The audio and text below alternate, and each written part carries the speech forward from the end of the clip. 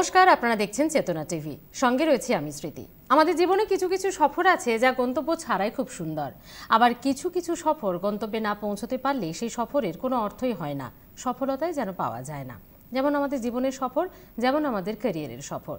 আর এই ক্যারিয়ারের সফরকে সফল করতেই আপনারা যাতে আপনাদের গন্তব্যে পৌঁছতে পারেন সে কারণে রয়েছে রাইস এডুকেশন রাইস অনলাইন রয়েছে এই মুহূর্তে আমরা অনলাইন ক্লাসে আজকে আমাদের সাবজেক্ট এই মুহূর্তে থাকছে জিওগ্রাফি স্যার গৌতম আড্ডি রাইস এডুকেশনের টিচার আমাদের সঙ্গে রয়েছেন।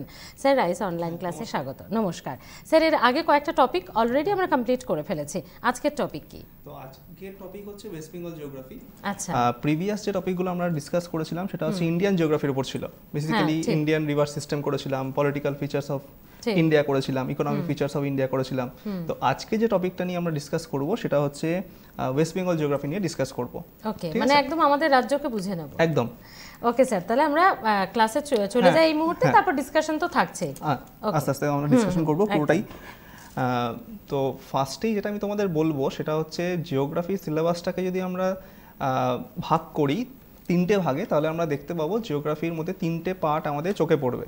একটা হচ্ছে ইন্ডিয়ান জিওগ্রাফি একটা হচ্ছে ওয়েস্ট বেঙ্গল জিওগ্রাফি একটা হচ্ছে ওয়ার্ল্ড জিওগ্রাফি তো এই যে Indian geography West Bengal geography এবং ওয়ার্ল্ড জিওগ্রাফি এই তিনটে পার্টের মধ্যে বেসিক্যালি স্টেট গভর্নমেন্টের যে এক্সামগুলো হয় পিএসসি বলো বা এসএসসি বলো এসএসসি ক্লার্ক বলো গ্রুপ সি গ্রুপ ডি যাই বলো না কেন, বা পিএসসি মিসলেনিয়াস বলো পিএসসি ক্লার্কশিপ বলো ডাব্লিউসিএস বলো।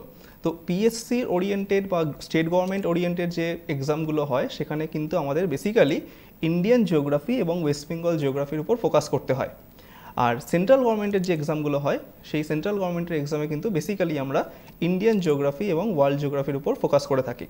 অর্থাৎ তিনটে যে জিওগ্রাফির পার্ট রয়েছে Indian geography West Bengal geography এবং ওয়ার্ল্ড জিওগ্রাফি এর মধ্যে সবথেকে গুরুত্বপূর্ণ যে বিষয়টা সেটা কিন্তু ইন্ডিয়ান জিওগ্রাফি তারপরে ওয়েস্ট বেঙ্গল জিওগ্রাফি তারপরে কিন্তু আমার ওয়ার্ল্ড জিওগ্রাফি আসছে। সুতরাং বেশিরভাগ ফোকাসটা কিন্তু আমরা ইন্ডিয়ান জিওগ্রাফি এবং ওয়ার্ল্ড ওয়েস্ট বেঙ্গল জিওগ্রাফির উপরই করব। এবং সামনে তোমাদের নেক্সট ইয়ারে টু থাউজেন্ড টোয়েন্টি ওয়ানে আপাতত অ্যানাউন্স করা আছে যে ফেব্রুয়ারি মাসে টু থাউজেন্ড টোয়েন্টি ওয়ানের ডাব্লিউবিসিএস ফিলি হওয়ার কথা। এবং আমরা জানি যারা প্রিভিয়াস ইয়ারে তোমরা পরীক্ষা দিয়েছ বা যারা তোমার পরীক্ষা দেবে এই বছরে, নতুন নেক্সট ইয়ারে যারা নতুন পরীক্ষা দেবে, তাদেরও ক্ষেত্রে এই কথাটা মনে রাখা দরকার যে ডাব্লিউবিসিএসে কিন্তু পিএসসি ডাব্লিউবিসিএসের ক্ষেত্রে কিন্তু প্রিলিতে বেসিক্যালি ওয়েস্ট বেঙ্গল জিওগ্রাফির উপর কিন্তু ফোকাসটা বেশি করে। আমরা জানি সকলেই যে ডাব্লিউবিসিএসে পিলিতে টোয়েন্টি ফাইভ মার্কস থাকে জিওগ্রাফি থেকে, সেখান থেকে কিন্তু একটা huge number West Bengal geography থেকে শুধুমাত্র কিন্তু কভার করে। ধরা যায় যে নাইন থেকে টেন কোশ্চেন্স শুধুমাত্র ওয়েস্ট বেঙ্গল জিওগ্রাফি থেকে আসে। সুতরাং একটা বড় নাম্বার অফ কোশ্চেন কিন্তু আমার ওয়েস্ট বেঙ্গল জিওগ্রাফির পার্টকে কভার করে। এই কারণেই কিন্তু আজকে আমি তোমাদের সাথে যেটা ডিসকাস করব, সেটা হচ্ছে আমাদের ওয়েস্ট বেঙ্গল জিওগ্রাফি এবার এই ওয়েস্ট বেঙ্গল জিওগ্রাফি যখন আমরা ডিসকাস করবই, তখন আমাকে জানতে হবে যে ওয়েস্ট বেঙ্গল জিওগ্রাফি থেকে কী কী পড়তে হবে এবং কোন পার্টগুলো আমাদের পরীক্ষায় আসে। তাহলে ওয়েস্ট বেঙ্গল জিওগ্রাফির দুটো পার্ট আছে বেসিক্যালি একটা হচ্ছে পলিটিক্যাল পার্ট একটা হচ্ছে ফিজিক্যাল পার্ট তো আজকে আমরা যেটা তোমাদের সাথে ডিসকাস করব সেটা হচ্ছে পলিটিক্যাল ফিচার্স অফ ওয়েস্ট বেঙ্গলটা ডিসকাস করব। নেক্সট ক্লাসে আমরা physical features of West Bengal discuss করব। তাহলে আমাদের কী হবে? না ওয়েস্ট বেঙ্গলের টোটাল জিনিসটা কমপ্লিট হয়ে যাবে। তো দেখো, তোমাদের সামনে অলরেডি একটা ওয়েস্ট বেঙ্গলের ম্যাপ আঁকা আছে। তো আমরা জানি সকলেই যে বর্তমানে ওয়েস্ট বেঙ্গলে যে ডিস্ট্রিক্ট রয়েছে, সেই ডিস্ট্রিক্টের সংখ্যা হচ্ছে তেইশটা। তাহলে number of district in West Bengal হচ্ছে টোয়েন্টি থ্রি তাহলে সেই টোয়েন্টি থ্রিটা ডিস্ট্রিক্ট কী কী আছে? যদি আমরা একটু দেখে নিই ম্যাপের মধ্যে, তাহলে আমাদের বুঝতে সুবিধা হবে। এক্ষেত্রে বলে রাখি, এই যখন আমরা ওয়েস্ট বেঙ্গল জিওগ্রাফি পড়ব বা ইন্ডিয়ান জিওগ্রাফি পড়ব, যদি আমরা একটু ম্যাপ স্টাডি করে পড়ি, তাহলে কিন্তু আমার বুঝতে বা পরীক্ষার হলে কিন্তু সুবিধা হবে। এমনও পরীক্ষা গেছে, যখন কোর্টের এক্সামগুলো হতো লোয়ার কোর্টে তখন দেখা গেছে যে ওয়েস্ট বেঙ্গল জিওগ্রাফি থেকে ম্যাপ এঁকে দিয়েছে কোশ্চেনের মধ্যে, সেই ম্যাপ এঁকে দিয়ে এবার কোশ্চেন এসছে। যারা ম্যাপটা ভালো করে জানে না যে ম্যাপের কোথায় কোন ডিস্ট্রিক্ট রয়েছে, তারা কিন্তু অ্যান্সার করতে পারবে না। সুতরাং ম্যাপ স্টাডি যদি আমরা না করি, তাহলে কিন্তু পরীক্ষার হলে যদি এরকম ম্যাপ দিয়ে কোশ্চেন দেয় ম্যাপের রেসপেক্টে কোশ্চেন দেয়, তখন কিন্তু আমরা সেখানে প্রবলেমের সম্মুখীন হব। সুতরাং একটু আমরা যদি দেখে নিই ওয়েস্ট বেঙ্গলের ডিস্ট্রিক্টগুলো কোথায় কোনটা রয়েছে, তাহলে আমার মনে হয় সুবিধা হবে। চলো তাহলে স্টার্ট করি আমরা। তো ফার্স্টেই বললাম যে নাম্বার অফ ডিস্ট্রিক্ট হচ্ছে ওয়েস্ট বেঙ্গলে বর্তমানে তেইশটা। তাহলে তেইশটা ডিস্ট্রিক্ট কোথায় আছে? আমি একটু সবটে তোমাদের, দেখো ম্যাপের মধ্যে লিখব। তোমরা সবাই নোট ডাউন করবে। ডি ডি ফর হচ্ছে দার্জিলিং। পাশেই আছে আমাদের কে কে ফর কালিম্পং। এখানে রয়েছে আমাদের J for Jalpaiguri. A for হচ্ছে আলিপুরদুয়ার। সি ফর হচ্ছে কুচবিহার। এই পোর্শনটা যেটা আমরা দেখতে পাচ্ছি, চিকেন স্নেক বলা হয় এই পোর্শনটা হচ্ছে আমাদের চোপড়া, নর্থ দিনাজপুরে আছে। এনডি লিখলাম। এনডি মানে হচ্ছে নর্থ দিনাজপুর। এখানটা আমাদের রয়েছে সাউথ দিনাজপুর। এটা হয়েছে এম ফর মালদা। যদি আমি এটা পুরোটা লিখেও দিই। এখানটা রয়েছে আমাদের মুর্শিদাবাদ। এখানটা রয়েছে আমাদের বীরভূম। শর্টে আমি লিখলাম বিআইআর মানে বীরভূম। এখানটা রয়েছে আমাদের ওয়েস্ট বর্ধমান ডাব্লিউবি মানে হচ্ছে ওয়েস্ট বেঙ্গল নয় ডাব্লিউবি মানে হচ্ছে এখানে ওয়েস্ট বর্ধমান এখানে রয়েছে আমাদের পুরুলিয়া পি ফর পুরুলিয়া। পুরুলিয়ার ঠিক ভেতরেই রয়েছে বি ফর বাঁকুড়া। এর ঠিক নিচে রয়েছে J for Jhargram. W M W M মানে হচ্ছে এখানে ওয়েস্ট মিদনাপুর আর তার ঠিক নিচেই রয়েছে ই এম মানে ইস্ট মিদনাপুর আচ্ছা মুর্শিদাবাদের নদিয়া, মুর্শিদাবাদের নিচে যেটা আছে সেটা হচ্ছে নদিয়া এন ফর নদিয়া। এর ঠিক নিচে রয়েছে নর্থ টোয়েন্টি ফোর পরগনা। আর তার ঠিক নিচে রয়েছে আমার সাউথ টোয়েন্টি ফোর পরগনা। সবই শর্টে লিখছি। ভালো করে তোমরা খেয়াল করবে। নদিয়াটা আমি পুরোটা লিখে দিলাম। আচ্ছা তো ওয়েস্ট বর্ধমানের ঠিক পাশেই রয়েছে আমাদের ইস্ট বর্ধমান। ইবি মানে হচ্ছে ইস্ট বর্ধমান। এর ঠিক ইস্ট বর্ধমানের ঠিক নিচেই রয়েছে আমাদের হচ্ছে হুগলি। এর ঠিক নিচে রয়েছে হাওড়া। আর এর ঠিক নিচে রয়েছে আমাদের এখানে কে ফর হচ্ছে কলকাতা।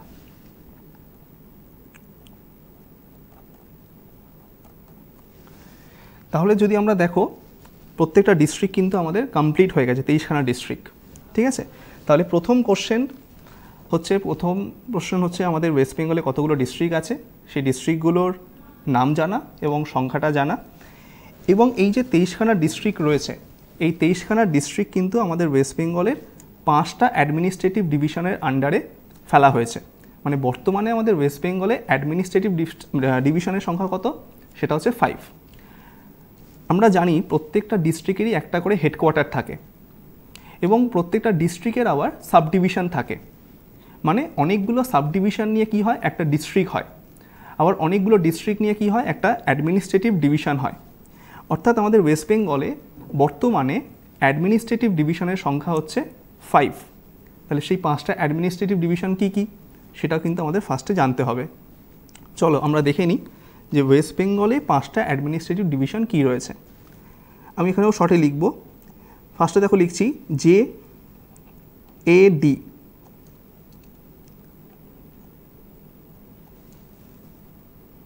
যদি একটু মুছে তোমাদের দেখাই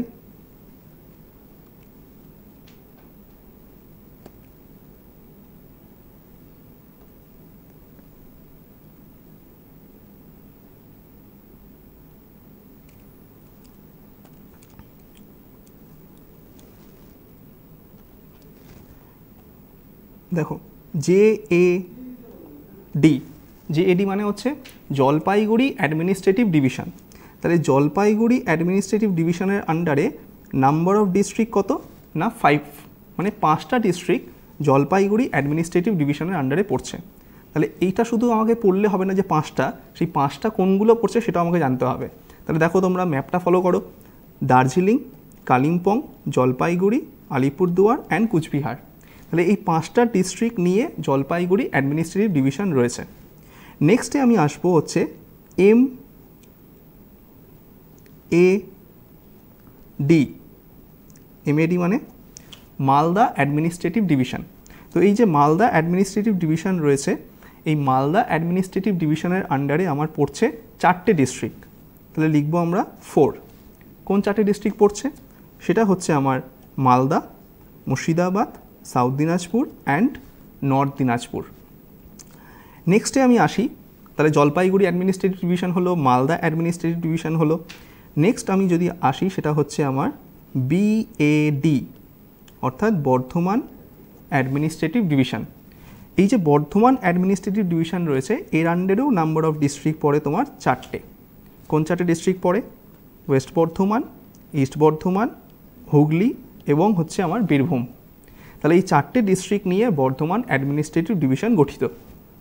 তারপর যদি আমরা আসি P A D P A D মানে প্রেসিডেন্সি অ্যাডমিনিস্ট্রেটিভ ডিভিশন এই প্রেসিডেন্সি অ্যাডমিনিস্ট্রেটিভ ডিভিশনের আন্ডারেও পড়ে হচ্ছে পাঁচটা ডিস্ট্রিক্ট কোন পাঁচটা ডিস্ট্রিক্ট পড়ে? দেখো, Nadia North Twenty Four Parganas South Twenty Four Parganas, Kolkata এবং হাওড়া। হয়ে গেল পাঁচটা। লাস্ট হচ্ছে আবার হচ্ছে এম এ ডি এখানে এম এ ডি মানে হচ্ছে মিদনাপুর অ্যাডমিনিস্ট্রেটিভ ডিভিশন। যে মিদনাপুর অ্যাডমিনিস্ট্রেটিভ ডিভিশন রয়েছে, তার আন্ডারেও পড়ছে কিন্তু পাঁচটা ডিস্ট্রিক্ট তাহলে দেখো তুমি টোটালটা করো। টোটালটা করলে কিন্তু টোয়েন্টি থ্রি হয়ে গেল। পুরুলিয়া, যেটা বাকি আছে, Bankura, Jhargram West Midnapore and East Midnapore দেখো তোমরা যদি এটাকে কাউন্ট করো টোটাল করো, দেখো টোটাল বেরোচ্ছে আমার টোয়েন্টি থ্রি ডিস্ট্রিক্টস তাহলে এই যে তেইশটা ডিস্ট্রিক্ট রয়েছে, এই তেইশটা ডিস্ট্রিক্ট কিন্তু পাঁচটা অ্যাডমিনিস্ট্রেটিভ ডিভিশনের আন্ডারে ফেলা হয়েছে। এখানে একটা জিনিস আমার বলা আছে, সেটা হচ্ছে তোমরা যখন স্কুল লেভেলে পড়েছিলে, তখন কিন্তু বা আমরাও যখন পড়েছিলাম, তখন কিন্তু এই পাঁচটা অ্যাডমিনিস্ট্রেটিভ ডিভিশন ছিল না। তখন ছিল তিনটে। কোন তিনটে ছিল? Jalpaiguri administrative division Bardhaman administrative division আর হচ্ছে প্রেসিডেন্সি অ্যাডমিনিস্ট্রেটিভ ডিভিশন মানে মালদা আর মিদনাপুরটা ছিল না। এই দুটো কবে অ্যাড হয়েছে? এই দুটো অ্যাড হয়েছে আমার দু হাজার সতেরো সালে। তাহলে এটা মনে রাখবে দু হাজার সতেরো সালে এই দুটো অ্যাডমিনিস্ট্রেটিভ ডিভিশন অ্যাড হয়, যার জন্য বর্তমানে অ্যাডমিনিস্ট্রেটিভ ডিভিশনের সংখ্যা হচ্ছে পাঁচ। মনে রাখার সহজ উপায় কোনটা? যে কোন দুটো অ্যাড হয়েছে? মনে রাখবে দুটোরই প্রথম লেটার হচ্ছে এম দিয়ে শুরু। তাহলে যে দুটোর প্রথম লেটার এম দিয়ে শুরু, সেই দুটো তোমার অ্যাডমিনিস্ট্রেটিভ ডিভিশন দু হাজার সতেরো সালে আমার অ্যাড হয়েছে। তাহলে এইটা হয়ে গেল হচ্ছে আমার অ্যাডমিনিস্ট্রেটিভ ডিভিশনের পার্ট এবং এর সঙ্গে সঙ্গে যেটা আমি তোমাদের ফার্স্টেই বললাম, আমাদের পড়তে হবে কি না, প্রত্যেকটা ডিস্ট্রিক্টের হেডকোয়ার্টার কী আছে, সেটাও কিন্তু আমাদের পড়তে হবে। আরেকটা জিনিস তোমাদের এখানে আমি বলে রাখব, এখানে এই অ্যাডমিনিস্ট্রেটিভ ডিভিশন থেকে কোশ্চেন কীরকম আসে? যখন ধরো তোমাকে বললাম যে জলপাইগুড়ি অ্যাডমিনিস্ট্রেটিভ ডিভিশনের আন্ডারে পড়ে দার্জিলিং, কালিম্পং, জলপাইগুড়ি, আলিপুরদুয়ার, কুচবিহার। কোশ্চেন আসবে যে চারটে ডিস্ট্রিক্টের মধ্যে বলবে কোন ডিস্ট্রিক্টটা জলপাইগুড়ি অ্যাডমিনিস্ট্রেটিভ ডিভিশনের মধ্যে পড়ে না বা কোন ডিস্ট্রিক্টটা জলপাইগুড়ি অ্যাডমিনিস্ট্রেটিভ ডিভিশনের মধ্যে পড়ে। এইভাবেই কিন্তু বেসিক্যালি আমরা পরীক্ষায় কোশ্চেনগুলো কিন্তু দেখতে পাই। সুতরাং নম্বরটা যেমন আমাকে মনে রাখতে হবে কতগুলো করে ডিস্ট্রিক্ট পড়ে, ঠিক তেমনিভাবে কোন কোন ডিস্ট্রিক্টগুলো কার আন্ডারে পড়ছে সেটাও কিন্তু আমাকে ভালো করে দেখতে হবে। চলো আমরা নেক্সট তাহলে আসি। অ্যাডমিনিস্ট্রেটিভ ডিভিশন কমপ্লিট করার পরে হেডকোয়ার্টারগুলো যদি আমরা দেখে নিই একটু। দেখো দার্জিলিংয়ের হেডকোয়ার্টার হচ্ছে কিন্তু আমার দার্জিলিং। মানে দার্জিলিং টাউন কালিম্পংয়ের হেডকোয়ার্টার কালিম্পং। জলপাইগুড়ির হেডকোয়ার্টার জলপাইগুড়ি। আলিপুরদুয়ারের হেডকোয়ার্টার হচ্ছে আলিপুরদুয়ার। কুচবিহারের হেডকোয়ার্টার হচ্ছে আমার কুচবিহার। আসি আমরা নর্থ দিনাজপুরে। নর্থ দিনাজপুরের যে হেডকোয়ার্টার সেই হেডকোয়ার্টারটার নাম কিন্তু হচ্ছে আমার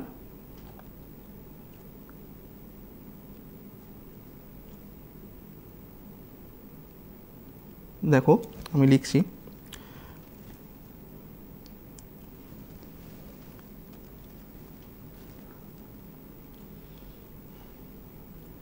আচ্ছা নর্থ দিনাজপুরের যে হেডকোয়ার্টার সেটা হচ্ছে আমার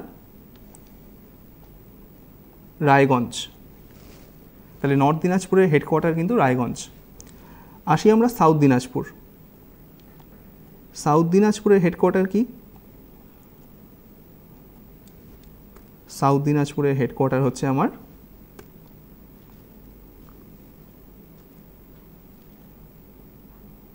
বালুরঘাট। তোমরা নোট ডাউন করবে। হয়ে গেল। নেক্সট আমি আসি মালদা। মালদার হেডকোয়ার্টার কি? সকলে আমরা জানি, সেটা হচ্ছে ইংলিশ বাজার।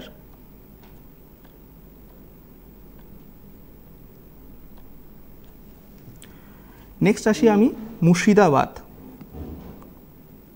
মুর্শিদাবাদের হেডকোয়ার্টার হচ্ছে আমার। দেখো একটু নিচে লিখছি তোমাদের। সেটা হচ্ছে আমার বহরমপুর।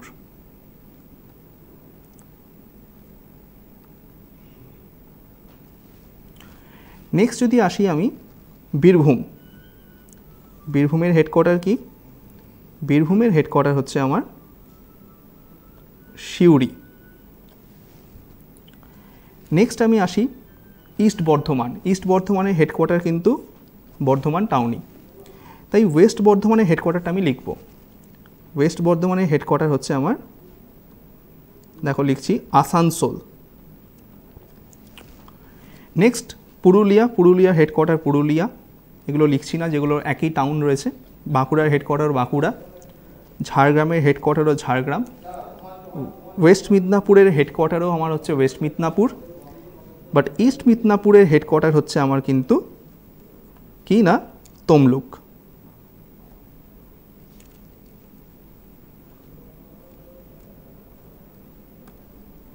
দেখো, লিখছি তোমরা নোট ডাউন করবে। তাহলে ইস্ট মিদনাপুরের হেডকোয়ার্টার হচ্ছে আমার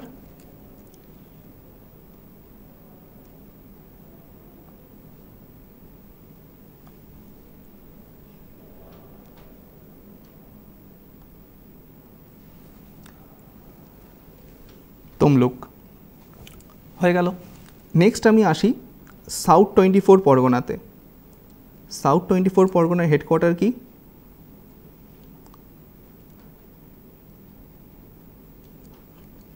সেটা হচ্ছে আলিপুর।